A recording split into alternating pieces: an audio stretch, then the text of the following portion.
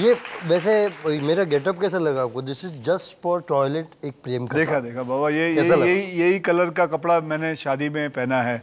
और ये हार भी आपने रखा हुआ है। हार आपके लिए लाए हैं, दो हार लाए हम। बस ये आपको दो लाए थे ना। दूसरा शेयर शेयर कर लेंगे हम। दूसरा लाया नहीं कर रहे ये लीजिए। क्या करना है इसको? आपको पहनाने आया हूँ। आप इन्होंने जो कार्य किया है टॉयलेट बांधने का और ये सोशल मैसेज है पूरे इंडिया के लिए कि घर में शौच करो, घर में शौचालय बनवाओ, खुले में शौच मत करो। जहाँ पे शौच, वहाँ पे शौचालय।